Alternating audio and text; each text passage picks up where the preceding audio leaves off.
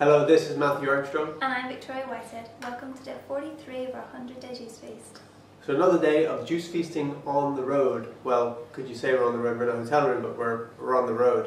Um, and so obviously we've brought our juicer with us and um, just gone out, bought our vegetables, our fruit, whatever we need, and we're just juicing in the room. Everything we need, no problem at all. And today we're going to be on the road all again today until uh, you know very late tonight. Uh, we're going off. We're first of all we're interviewing uh, Dr. Robert Young, the renowned microbiologist, and then we're heading back across the, the country. So we're, we've got quite a quite a long day ahead of us. Uh, and uh, so what we've juiced today is we've juiced first of all for the morning, just a big watermelon. You get about three three and a half liters out of the watermelon. So that's what we're drinking this morning with some lemon in that and some lime in that. And then I also juiced got some bottles here of. What's in that? There's celery in that, there's let romaine lettuce, there's pineapple, there's lemon, there's green apples, and, uh, and ginger in that as well, and cucumber as well in that.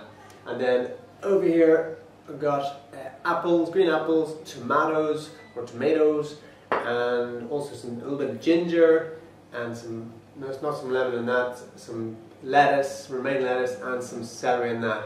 And then as well, we have some more watermelon and lime juice, lemon juice as well.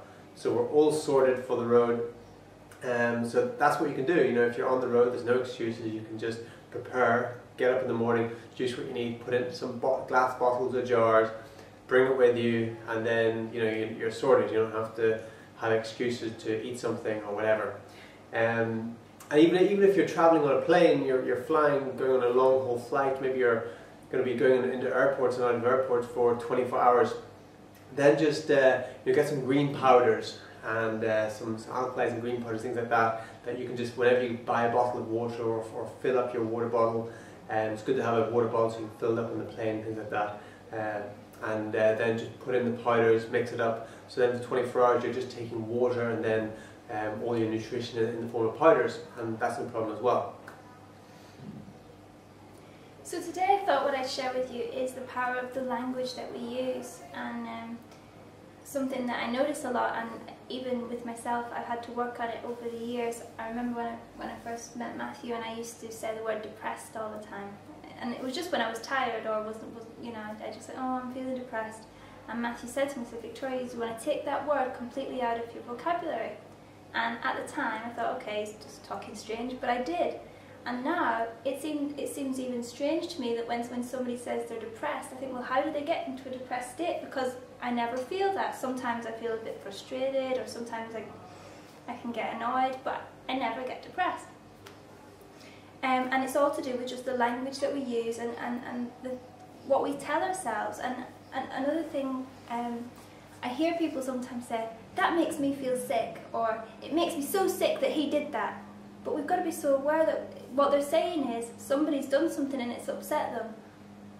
But saying it makes me sick, just even in those words, they're actually saying that it's causing a physical reaction in their body. And what they don't realise is that when you say something like that, it actually does create a physical reaction in your body because your conscious mind and your unconscious mind will take that on board even if you don't mean it in that sense your unconscious mind takes everything on board that you say, so you have to be so careful of the vocabulary that you use.